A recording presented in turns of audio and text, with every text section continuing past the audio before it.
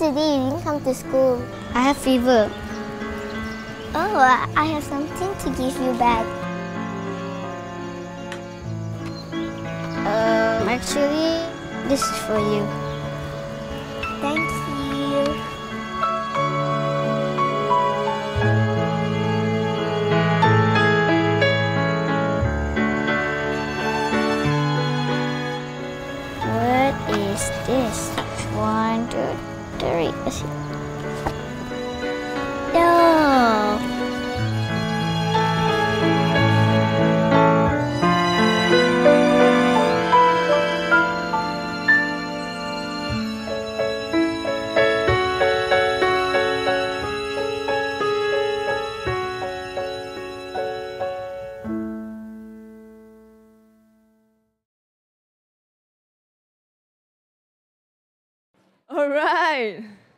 Catch it? What's the girl's name? I think so cringe. no, if you really call I think it's good name, all right? Just for this video, it's a bit. all right, but is this your relationship goals to? How many of you here? You like, oh, so sweet. Next time buy color pencil for the guy, the girl I like, right? And must buy what brand? Very good. Okay. So for those who are new here, we are in a four-part sermon series called Relationship Goals. And what is relationship goal? Now, I believe we do see this term in a social media hashtag relationship. Go just type it and you'll see a lot of couples photos on it. But what does it exactly means, right? See, relationship goal means that there must be a goal of what you want to see in a relationship. Get it? All right? And I'm not just talking about boy-girl relationship, but your relationship with your family, with your friends, with your cell, your cell leaders, the people you connect with, the people you love. What is your goal in this relationship? What is your end in mind in this relationship?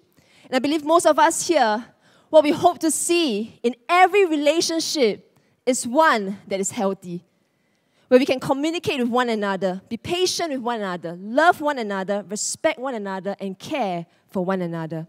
You see, healthy relationship makes life more enjoyable, perhaps more than anything else. Even if your health isn't the best, even if you have not, you don't have a lot of money, if you have a loving relationship, you can enjoy life. You know, someone once said, a poor man with a loving family and good friends is far richer than a rich man who is poor relationally. You see, no one wants their relationship to end up being broken, being dysfunctional. Yet sadly, we see a lot of brokenness in these days in the relationship between friends, couples, and even families. I mean, just recently there was an article of this monster dad in Singapore. You heard about it? You saw the article? A 27 year old father was sentenced to 25 and a half years jail and a maximum of 24 strokes of the cane on Tuesday, 19 Feb, because he's been prostituting his wife to get money and even performed sexual acts on their six year old daughter, a 13 year old niece in a hotel room. What kind of messed up relationship is this? But today I want to tell you, I want to share with you that there is hope despite the brokenness we see. There is hope in having healthy relationship when we choose to follow God because this is what God originally created. You see, in the beginning, when God created the heavens and the earth, He said everything was good except one thing that was not good. In Genesis 2, verse 18 says this the Lord God say, It's not good for man to be alone. I will make a helper suitable for him. See, God never once wanted us to be lonely, to be abandoned, to be abused, to be an orphan. No, never. And that's why He chose to have a relationship with us. And when God created the first man, Adam, what did He do with him? He walked with him, He talked with him. And He didn't just leave them there with the plants and animals. No, He created Eve so that Adam didn't just have a relationship with man, but with a woman, right? And if you look through the Bible, we see a God that is always for healthy relationships, that rank healthy relationship as the highest. You see, in Matthew 22, verse 36, when the Jewish leader asked Jesus, What is the greatest commandment in the law? Jesus didn't say, Don't steal, don't lie, don't do this. No. What he replied? He says this Love the Lord with all your heart and with all your mind, soul and with all your mind. This is the first and greatest commandment. And the second is like this love your neighbor as yourself. It's all about having a healthy relationship with God and with others. Thus, when we choose to follow after Him, we receive His love in our lives, we are able to build healthy relationship with the people around us.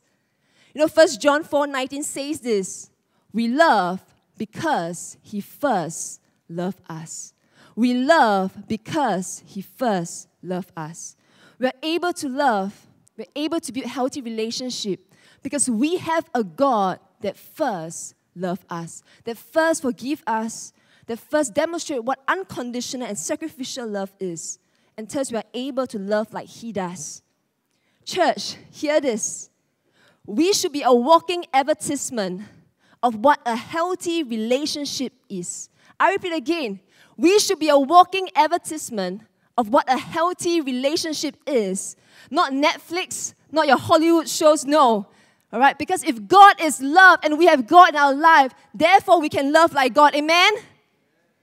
And that's why today I want to share with you from the Bible the ABCs on how to have healthy relationships. And I encourage you to take notes and trust me when you follow it.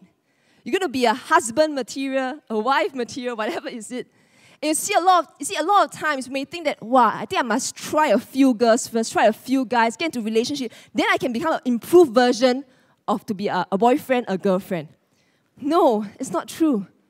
It starts from you having a healthy relationship with your family, with your friends, with the community here, so that you can be a better man and a better woman. Tell the, next, tell the person next to you, if it's a guy, say you're going to be a better man. If it's a girl beside you, say you're going to be a better woman. Come, let's pray. Let's close our eyes and let's pray. Lord, we thank you for your presence here. We thank you, Lord, for your everlasting love. Lord, we pray this day for your presence to continue to be here and speak to us, Lord. And we declare that each one of us here, we will rise up to love like how you love because you first love us. So, Lord, we thank you, Lord. In Jesus', Jesus name we pray. Amen. So, what are the ABCs of a healthy relationship? A, the first one, A, stands for appreciate each other's differences. Appreciate each other's differences. You see, a healthy relationship begins when we choose to appreciate each other's differences. To appreciate means to understand, to accept. See, all of us here, we are created differently, right? The way we look, the way we think, the way we behave, we are all different. Even identical twins have different personality and thumbprints. Yet the way God created us is never meant to distance us with our differences, but to unite us.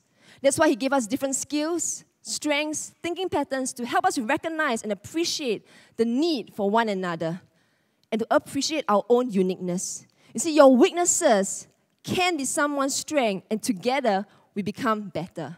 That's why Ecclesiastes 4, verse 9 says, Two people are better off than one, for they can help each other succeed. And as we begin to understand and accept each other's differences, we're able to love the way that they will feel loved. We're able to communicate better and respect one another better. How many of you heard about the five love language before? Yes? Yes? All right. It talks about how it helps people to see how people receive love and give love differently. For example, some of us here, we feel love when someone hug us. How many of you here yes to you? When someone hug you, yeah? Okay, you have fun a physical touch, all right? Hug, kiss, and all this. Okay, this, this, this, is how you this is how you receive love. Okay, this is like number, number five in my list. Don't ever hug me, all right? Okay. the second one, how do we receive love? Number two. Some of us we receive love through words of affirmation, where people speak words to encourage you. People write letters to you. You feel loved. All right, this is how you receive love. Some of us here, we receive love through quality time, and people spend time with you, ask you out despite their business, they ask you out, all right, to spend time with you. You feel loved. Some of us here, we feel love when someone helps us buy dinner, breakfast, and lunch. It's called acts of service, all right? Help us do things. We feel very loved. Can we do my homework? Can. Ooh, I feel loved. Okay, yeah.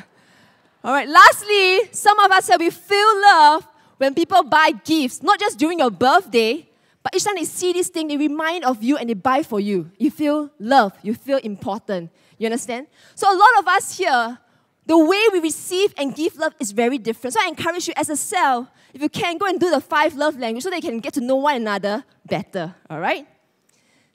You see, yet many times, even though we know we are different, many times instead of appreciating our differences, we assume that we are the same in our personality, in the way we think, in the way we do things, until we put unrealistic expectation on others, assuming that they will see things or do things our way. They can read our minds, they can feel how we feel.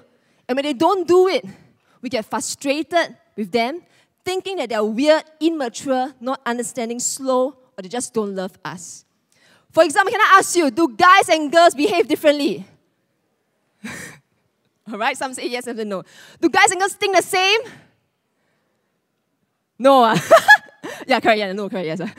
I mean, have you ever heard of couples fighting over the different ways to push up a toothpaste?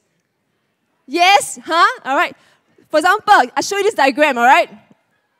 Usually, okay, guys, guess how they push their toothpaste? Which one? First one, second one, third one? Third one, some first one. Ladies, how do you push out your toothpaste? First one, second one, you don't really care, right? Some, right, correct? All right. So because of these differences, couples do quarrel over it. You know, I know of a couple, they will have two toothpastes in their toilet so that they cannot quarrel over such things. All right, okay? You take yours, you take mine, I take, I take mine. Because I cannot stand it when you anyhow push your toothpaste, all right? So you see, the way we behave as girls and guys, we are different, all right? We are different. But yet, sometimes, as mentioned just now, we assume that we are the same. We assume all of us here we are the same. Because we place unnecessary expectation on them. I'll give you another example. I don't know whether girls can relate, all right? You know, you all know who's my husband? Very good. so, for example, when I share my problems with Jasper, all right, I'm not expecting a solution because I already know what is right and what is wrong. I know already, I know already, okay? But what do I need? I just need a listening ear. I just want to air out. Once I air out, I'll be okay already, all right? Just, let, just listen, all right? All right? But instead of listening, he will tell me what to do. One, two, three, four, five, six, seven. And that frustrates me because I know I think I'm stupid. Ah. all right, I mean, this one, all right. And that frustrates me even more. Like, why you think this way? Why can't you just listen, right? But you see, to him, when he share problems, he wants solution. And that's why he will do the same for me. So I assume, right? I assume that he will listen instead. Thus, I put unrealistic assumption, unrealistic expectation on him. You get it? From then on, I learned, okay? I'll just tell him, hey, can listen. I just share with you, okay? And then he knows already. Okay, sometimes we think that the guys know, no, you must tell them one, all right? Okay, then they will know, okay? So from there, I begin to tell them so that he will know, okay? So that I don't anyhow put unrealistic expectation on him. Or some of us here, we make sweeping statements regarding the different gender, assuming that all guys are like that one, all girls are like that one. And right now, I'm going to do a mini activity with you. You all got a handphone? Can we just dim the light for a while? You all got a handphone, right? Okay, can you on your torchlight? Okay, just on your torchlight. All right. Okay, wow, nice. Everyone's on your torch. Very good. Now I'm going to ask you some questions regarding sweeping statements. All right, all of you just on for a while. Sweeping statements being made of different gender. Okay, and if, if you think it's true, I want you to be as honest as possible. Don't give politically correct answer, okay? What you based on what you believe. If you think it's true, you own it. If you think it's not true, it's false, you off it. Can you understand? Yes, yes. Okay, so for example, example, first one. Be honest, huh? Okay, all off us, all off us. Is it true that girls are more sensitive than guys?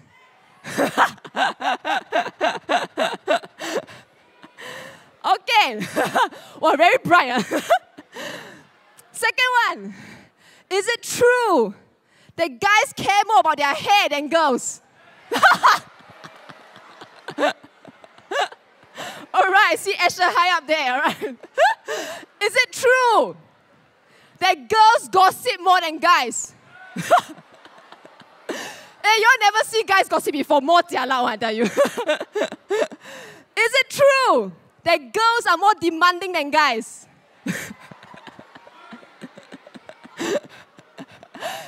It true that girls are more indecisive than guys? When they say when guys say anything, it means anything. When girls say anything, it means got something. Agree, yes or no?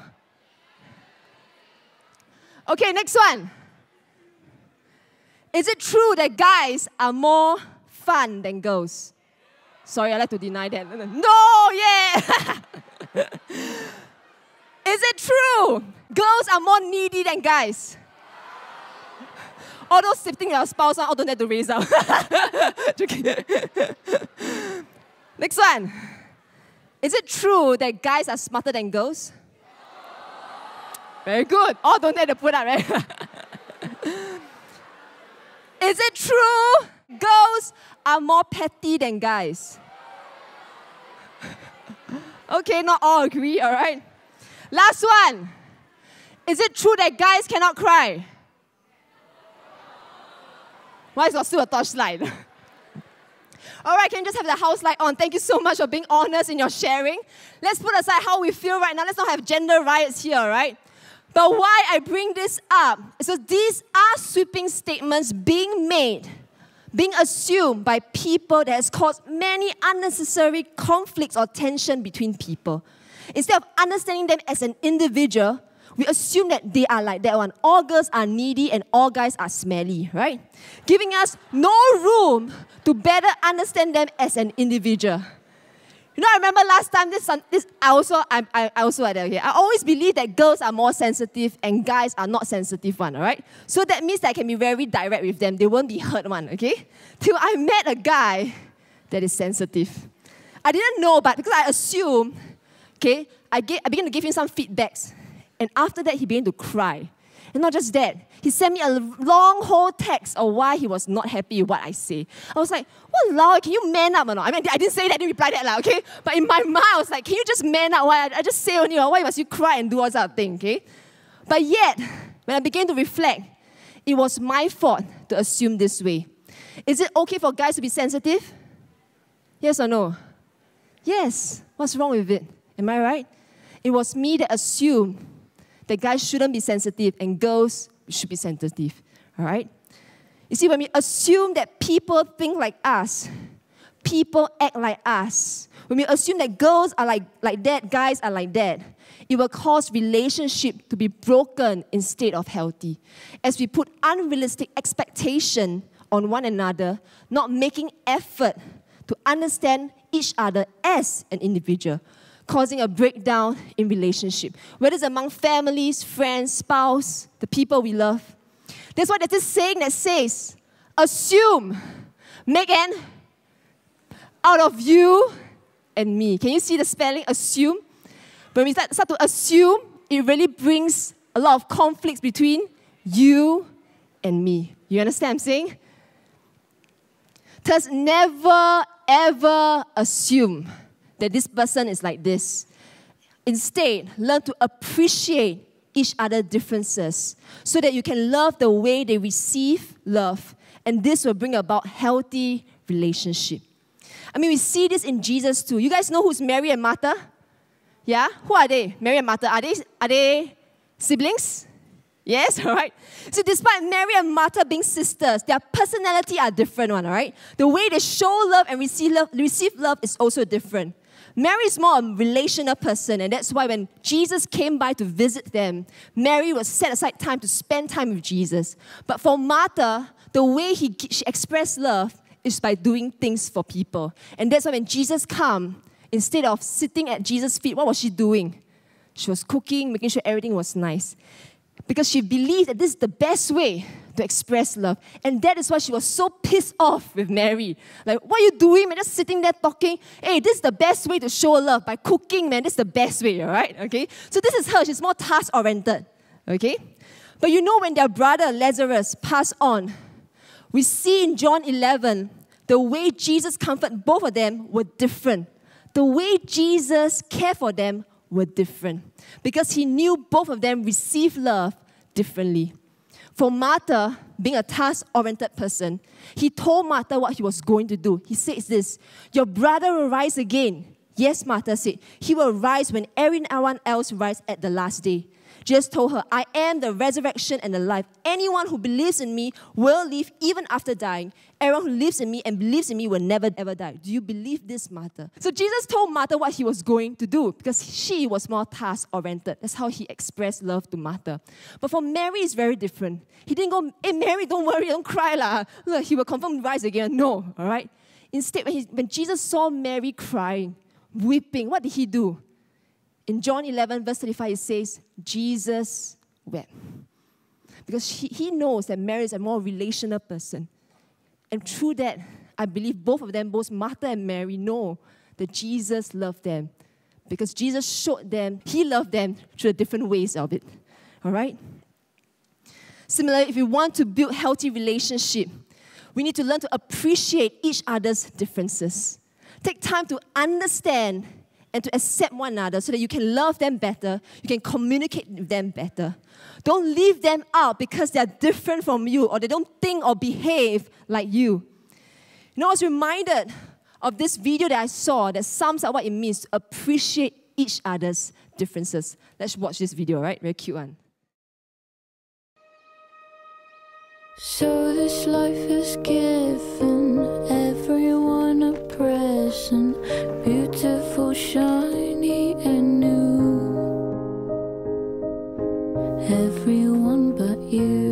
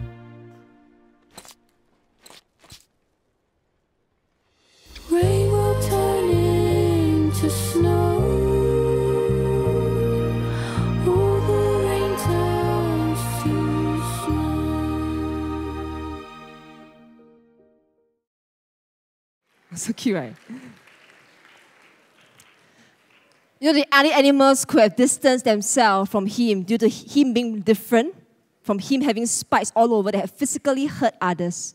But instead of giving up on him, they choose to appreciate the differences and came up with ideas so that they can come close to him. Will we do the same too? Are there people in our lives that we find hard to love, to communicate because they're different from us, from our personality or wavelength even? Today, what are some things you can better understand and draw closer to this person? It could be your parents, your siblings, your cell brothers, your leaders here and there. Today, will you say, God, teach me, Lord, to learn to appreciate them despite their differences so that I can establish healthy relationship with the people around me? So, what are the ABCs of a healthy relationship? Number one, A, appreciate each other's differences. B, become more Christ like. Become more Christ like. You know, in 2010, a couple by the name of Mr. Francis Ng and Madam Joyce Tan lost their only son, 19 years old Darren, in a downtown East gang fight. How many of you remember this? All right. Their son was hacked to death in one of the most vicious gang attacks here in recent years. There was so much sadness, and when they lost their son, and anger grew in Mrs. Francis Ng when a group of tattooed youth came to pay their respect to their dead friend, as he believed they were partly to blame. Yet it was through the love of Christ that brought them to a point of forgiveness towards his son's friend and also gave them greater compassion towards troubled youths. It's a picture of the couple, and behind are the friends. They began to open their house to Darren's friends to hang out, to listen to their problems, and they even organized a golf tournament on 18 July 24 to raise funds for troubled young people. Mr. Francis Ng said, I've already lost my son, and I didn't want other parents to lose theirs. And Madam Joyce Tan added, saying, They're still so young and have many challenges ahead of them. I've come to love them like I love my son. I mean, when I read this, what kind of love is this? That despite the pain they went through, they release forgiveness to the people that have taken away their precious son and provide shelter and hope for them. Indeed, they display what it means to be more Christ like.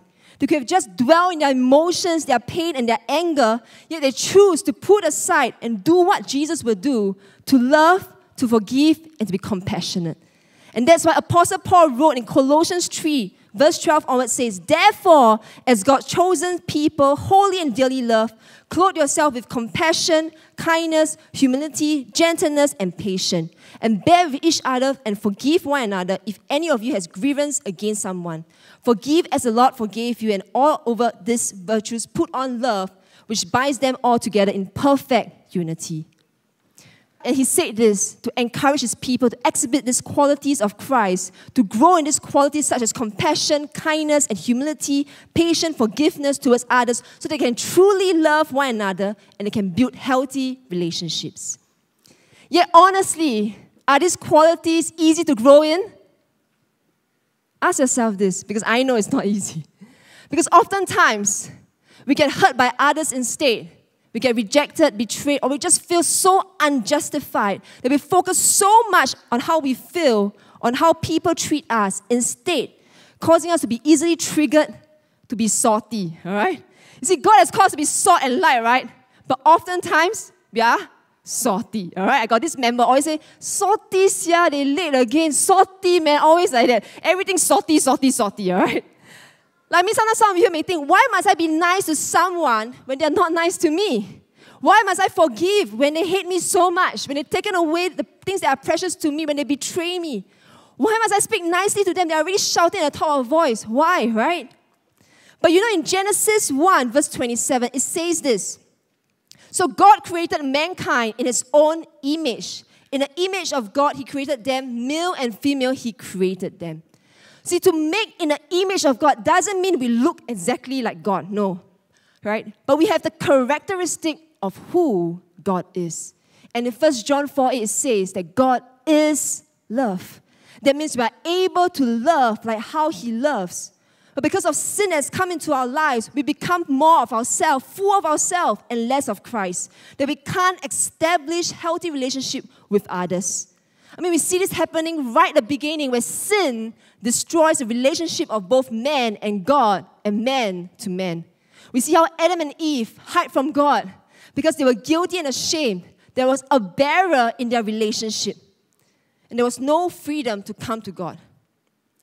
We see how Adam and Eve begin to be in conflict with one another, blaming one another on why they eat the fruit, which God told them not to when God confronted them. And ever since then, we see sibling rivalry began in Cain and Abel, families destroyed, adultery happening, and we still see in today's world how broken relationships are because of sin in our lives. See, sin caused us to focus a lot about ourselves and less of others. But because of what Christ has done on the cross, when we choose to become more like Christ, we can put to death Therefore, whatever belongs to earthly nature, whether it's sexual immorality, impurity, lust, evil desires, greed, which is idolatry, and put aside all anger, wrath, slander, abusive speech, and lying. And we can put on a heart of compassion, kindness, humility, gentleness, and patience, bearing one another, forgiving each other as sin in Colossians 3. And this will bring about a healthy relationship when we choose to do that. So right now, I want you to look through all these qualities. You can do it during cell group. But is it compassion, kindness, humility, gentleness, patience, and forgiving? Is there one quality that you know that you can work on for this season? Just one, all right? And when you write it on a paper and pray, for example, Lord, teach me this day to be a patient man. And trust me, God will give you people that you cannot tahan to test your patience, all right? But that's the best way, all right, to learn patience. Or, maybe some of you here, you're someone you hold grudges in. Today, we say, God, I want to forgive. And God will give you many opportunities to show love, to show forgiveness to this person. And I want to encourage you to act obediently, not out of your feelings. And when you lose it, you blow it, confess to the Lord again and ask for forgiveness and say that, Lord, I will do it again. I'll be patient again. I will love again. See, let's make a habit of putting all these new clothes so that we can become more like Christ and less of ourselves. You don't need to wait until you find that perfect guy or girl to show all these qualities. That's being fake, all right? But when you start by today telling God, God, I want to grow in this area, in this season, trust me, as you establish these qualities, you're able to love your future spouse like how Christ loved them. So, what are the ABCs of a healthy relationship? Number one, A, appreciate each other's differences. B, become more like Christ. And lastly, C, center it around Christ. See, to become more like Christ is about who you become, right? But to center our relationship around Christ is when we put Christ as a priority, where we seek Him first in the relationship, we seek His purpose first in the relationship, where every decision that you make in this relationship is based on His word. And because Christ is the way, the truth, and the life, when we place our priority on Him, we will have a healthy relationship. Have you seen this chart before? It's about Christ centered marriage. So it's a triangle, all right? Below is wife and husband, above is God. See, what is this diagram all about?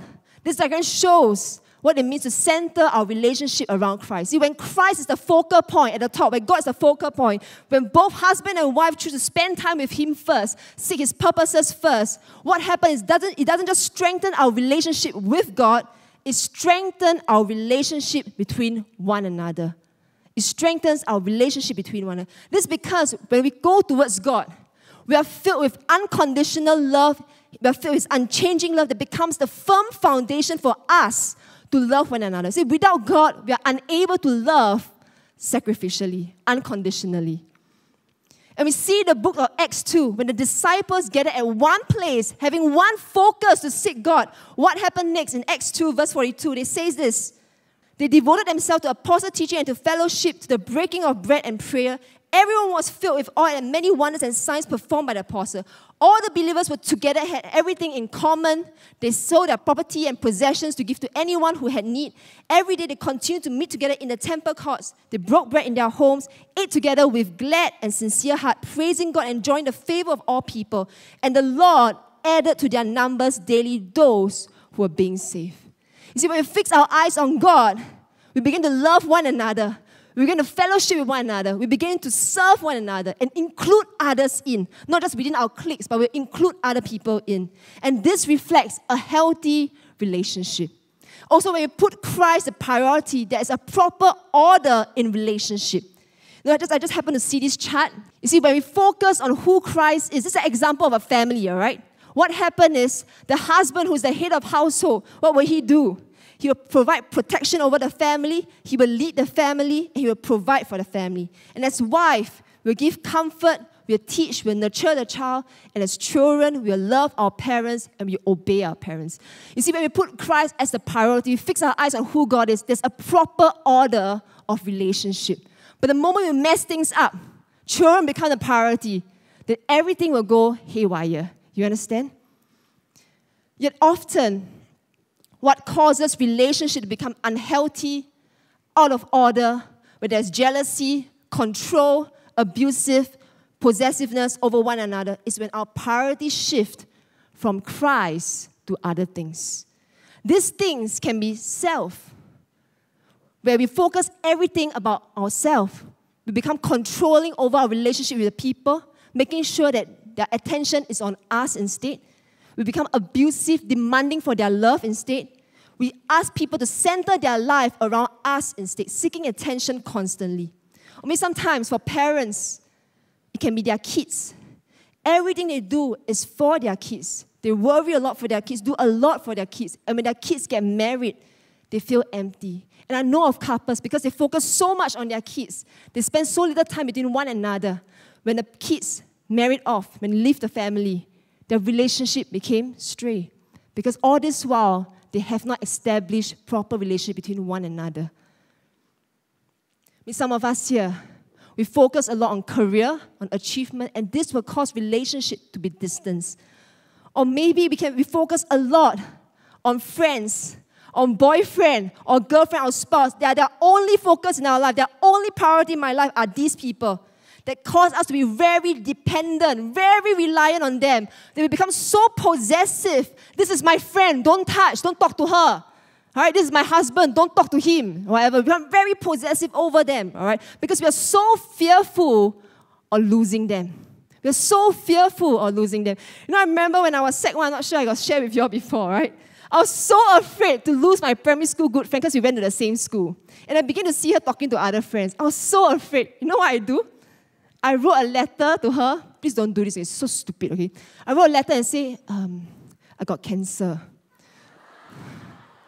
I'm dying. Stupid, right? Very stupid. Why? I want her attention. I want her love. Thank God she never see me after that. I mean, she see still, still alive. There's something wrong, right? but you know what? This is what happens when we fix our eyes not on God but on other things. We become so possessive over these people. It can be a clique of friends or so. We're so possessive over this group of people that we don't include others one. Every time we go out, cannot ask other people out. Only all of us can go out, only, but don't ask other people because we are one. All right, we are one. Nobody can, can break our relationship. All right, but is this healthy? Is this really healthy?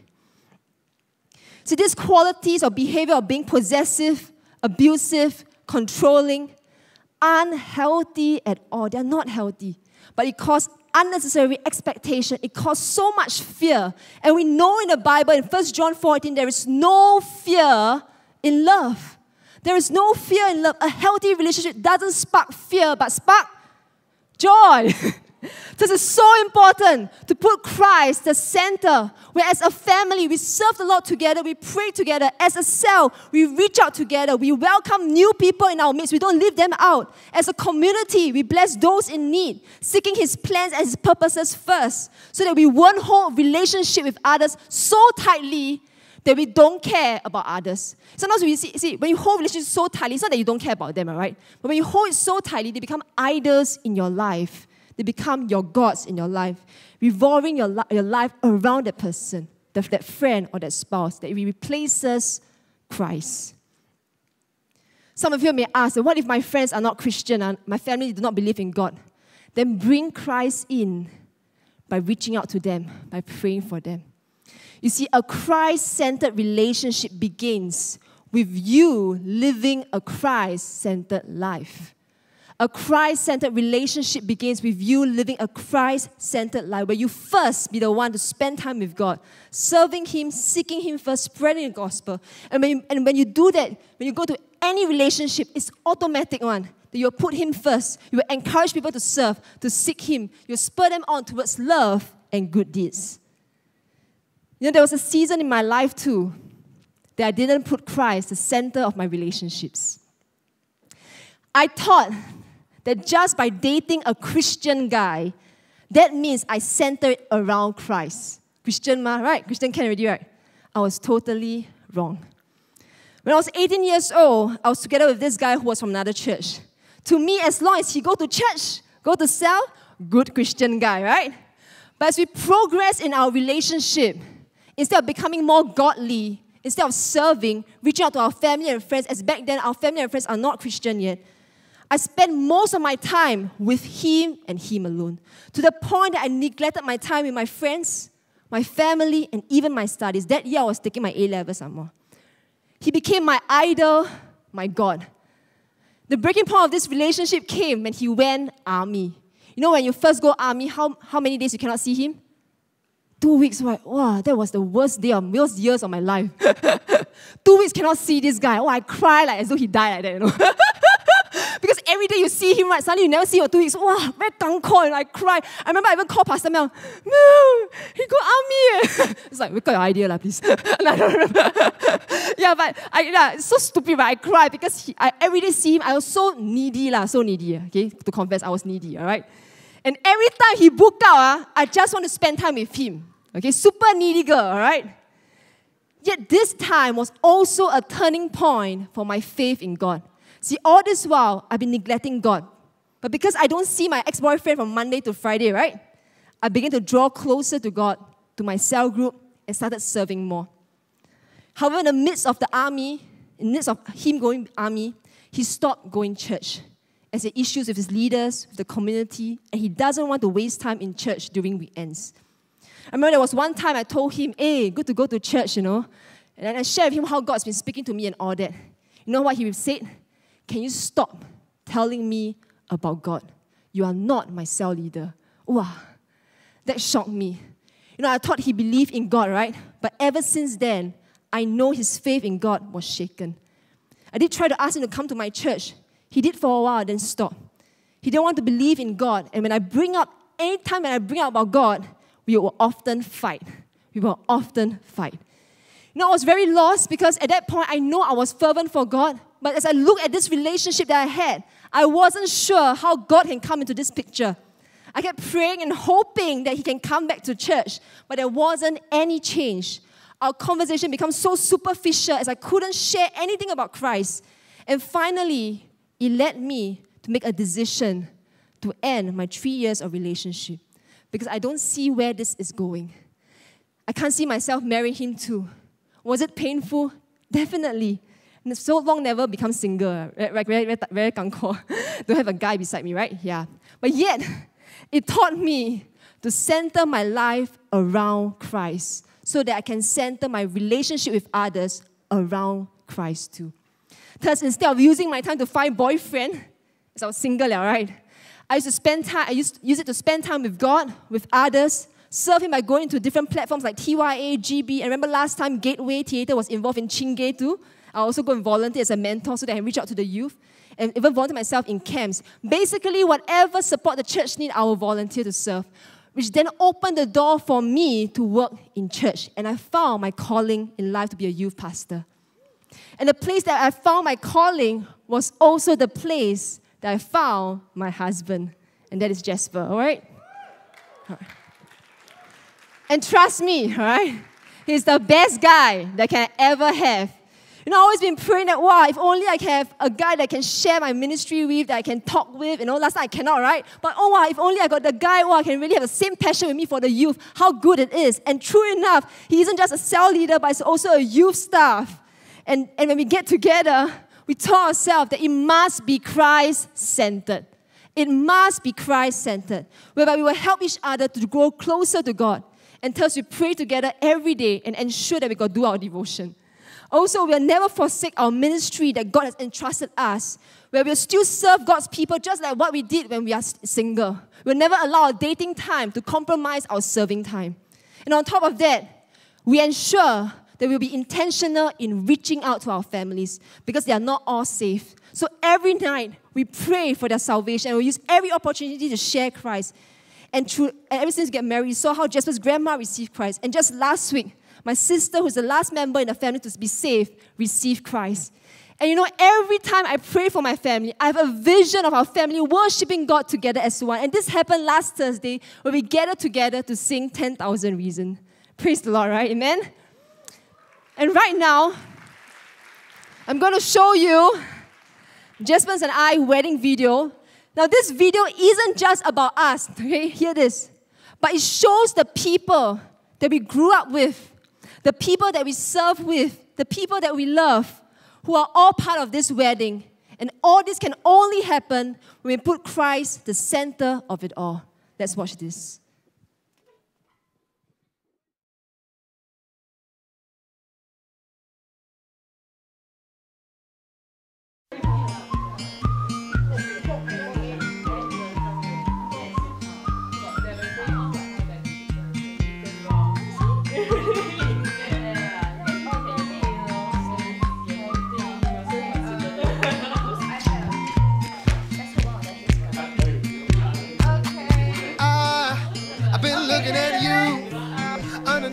Sky. I've never been this high.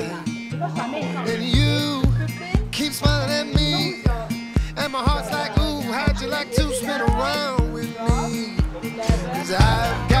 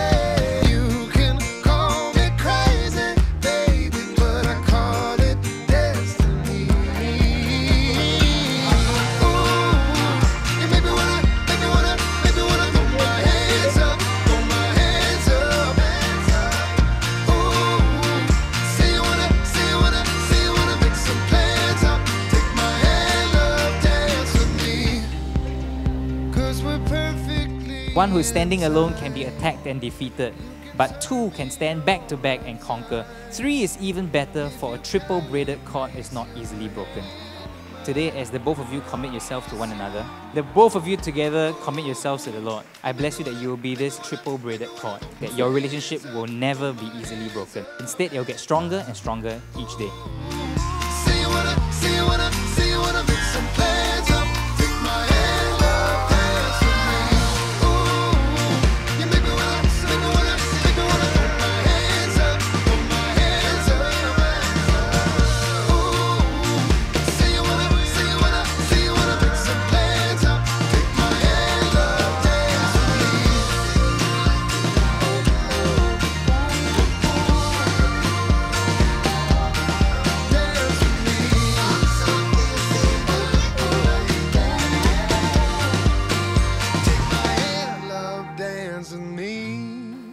You know, I have here with, uh, with me a pair of very expensive ring.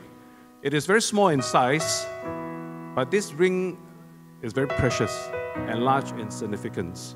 Uh, they're made of very precious metal, and they remind us that love is certainly not cheap and common. Indeed, love may cost both of you dearly.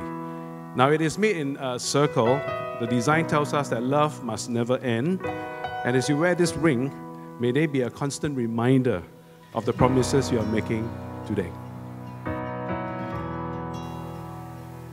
I, Jasper Chia, take you, Charmaine Cheong, to be my wedded wife, and I do promise before God and to these witnesses that I'll be a faithful and loving husband in plenty and in want, in joy and in sorrow, in sickness and in health, until God calls one or both of us into his presence.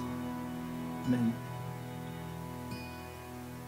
I, Charmaine Cheong, take you, Jasper Chia, to be my wedded husband, and I do promise before God and these witnesses that I'll be faithful as your submissive wife in plenty and in want, in joy and in sorrow, in sickness and in health, until God calls one or both of us into his presence.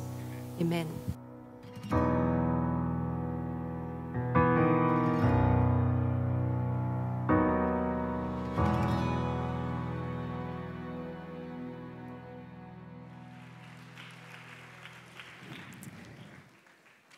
Indeed, when you put Christ, the center of it all, in every relationship, whether it's your family, your friends, your lover, yourself, you'll be one that is lasting and that is healthy. So, what are the ABCs of a healthy relationship? Number one, A, appreciate each other's differences. B, become more like Christ. And C, center it around Christ. You know, honestly, when I see this ABC of a healthy relationship, it's not as easy as ABC. Because we do believe, we do, sorry, we do live in a world that's filled with imperfect people. They may not appreciate us, they may not love the way we want them to love, and sometimes they leave us instead. But the question for all of you here are we still willing to be set apart, to be different from the world, to love them because Christ first loved us? 1 John 4:19 says, "We love because he first loved us." We love, we can have healthy relationship even when people are not practicing it. We can because he first loved us. It's true. His love is unconditional, unchanging. He showed out what it means to be sacrificial. And when we choose to follow Him, we are able to do the same too. You know, I believe in a crowd like this. There's some of you here, your first time in our youth service, or your friend has invited you here a few times. And you know the reason why they invite you? It's not to hear me, all right? Because they really want you to experience the greatest love of all, and that is Jesus Christ. They love you, and that's why they want you to experience this. Maybe you've been facing a lot of difficulties in your relationship. You come from families that often fight. Or some of you here, your dad has been saying words have been hurting towards you. And you just wonder, is there such thing as a healthy relationship? Is there such thing as unconditional love? Because no matter what I do, I don't receive the love from my parents and my friends No matter how much I try to give in, I don't receive it. The Lord says there's, there is an unconditional love, that there is an unchanging love who is Jesus Christ. And when you allow Him to come into your life, He will restore not just you, but your entire family and your friends. And all you need to do is to take a step of faith. And say, Yes, Lord, I want you in my life because I need you. So often, I try my best to be a good daughter, to be a good son. I try my best to be a good friend, but people still betray me. People still talk bad about me. But Lord, this day, will you come and fill my heart with your love? You see, when there's bitterness and there's hurt, we can't love people because there's a lot of resentment in us. But Christ came to this world and go through the worst rejection, the worst judgment ever, and to die on the cross for us so that when we receive Him into our life, every hurt and resentment will be put to death and will be filled with the complete love that no one else can ever give. His love is complete. His love will bring you security. No other people, no one in this world, nothing else can ever fill your heart, but only Christ, whose love is perfect. So, right now, I want to encourage you right now, just close your eyes and bow your head.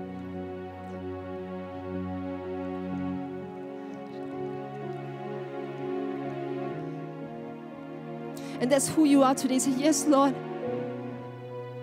I may not know much about you, but I want to receive that perfect love. If that's who you are today, all you need to do is to say this prayer. Because our God is a relational God, He hears what we say. And the moment we say this prayer, He will come in, He will draw close to us. That's how much He loves us. He longs to be with us. So if that's who you are today, will you say this prayer? Just repeat after me. And Christians, can you just do the same too to encourage one another? Say, Dear Lord Jesus, Dear Lord Jesus, I commit my life into your hands. I commit my life into into your hands. I believe I believe that you died on the cross for me that you died on the cross for me and you rose again on the third day. and you rose again on the third day. I confess I confess that there are many times There are many times I make mistakes in life. that I I've make made mistakes in life. Please forgive me. Please forgive me. Lord, this day, Lord, this day, come into my life. Come come into my life. I need you, Lord. I need you, Lord. I need the perfect love that's from you. I need the perfect love that's from you. So if that's who you are today and you say this prayer, yes, Lord, come, Lord, because I need you. I want to receive your love in this in my heart. If that's who you are today and you say this prayer for the very first time. At the count of three, I'm going to ask you to raise your hand because by raising your hand, you're telling God, God, here I am. That's me, Lord. Come, Lord. Because I need you. I need you to restore my heart, restore my family. I need you, Lord. So at the count of three, if you say this prayer for the very first time, just raise your hand. One, two, three. That's who you are today. You say that, yes, Lord, I want you in my life. Just raise your hand. Yes, I see your hands.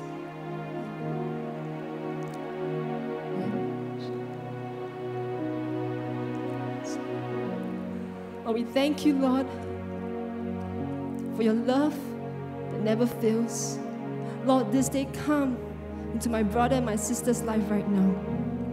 That they will experience you, that they will know that you are God whose, love is everlasting. Continue to restore their heart and be with them. In Jesus' most precious name, we all pray. Amen. Can we just rise to our feet and give thanks to God? Come on, let's clap as loud as possible to praise Him. Amen. Woo!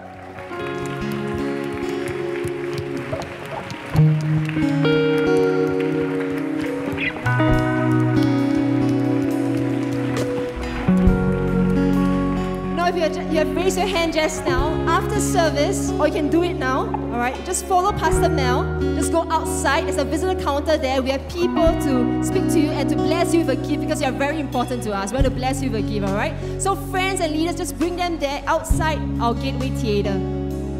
But for the rest of us here, I feel the strong presence of God over here. And just say that some of you here, You find hard to love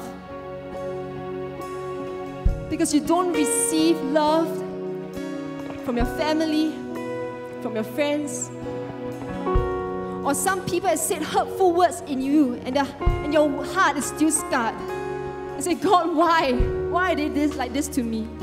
But Lord says today, will you just come because He wants to restore you. He wants to give you His love that is perfect. See, no one else, not even the girl or guy you love, can ever complete your heart, but only the love of Christ. So that's who you are today. You know that you need the love of God in your heart. You know your heart is broken because of things that's happening in this life. The Lord says today, will you come? Because He wants to restore your heart. He wants to fill your heart with His love. And the second group of people is this you find hard to love because you just don't want to. It's challenging. Indeed, love is challenging. It's never easy, right? But Lord says today, will you be set apart? Say, yes, Lord, I want to love. Even when the world doesn't love me, when people say things bad about me, I will still love. I will still show compassion because I want to be salt and light of this world. I don't want to be salty. I don't be easily triggered, but I want to love like how you love so that Christ can be seen in me, so that my friends and my family can see Christ in me. If that's who you are today, will you come say, God, yes, Lord, I want to love. Am I standing here? You're making a decision, you're making a commitment. And even though it's hard, you will still love. Even when it's not easy, you will still love. So the altar is open. Will you just come right now as we sing this song?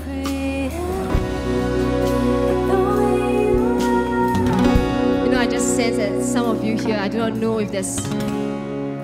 I just sense that some someone here, you're having an unhealthy relationship with someone that's not Christ centered at all, and you've been hiding. Lord says they do not hide. I want to encourage you to share with your leader. Because breakthrough comes when we recognize this and we acknowledge and we allow Christ to come into your life and not hold on to things that doesn't belong to God. That's when breakthrough comes in your life. So that's who you are, when you share with your leader? But right now, I want you to gather in your cell group before I say, right? I want you to gather in your cell and I want you to pray as a cell that will be a cell that's healthy. A cell that seeks God's purposes first. A cell that welcomes new people in.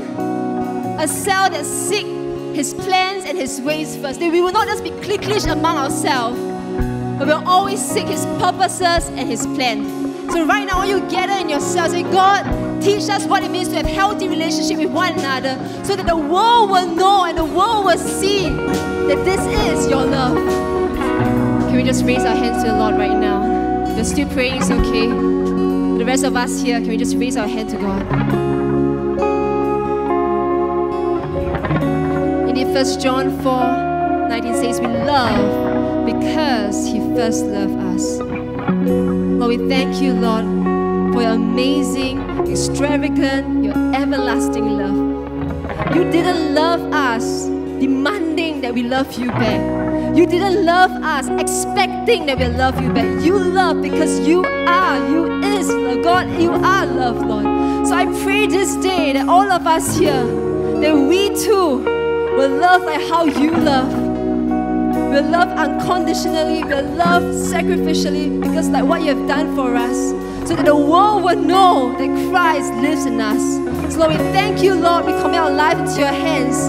In Jesus' most precious name, we all pray. Amen. Amen.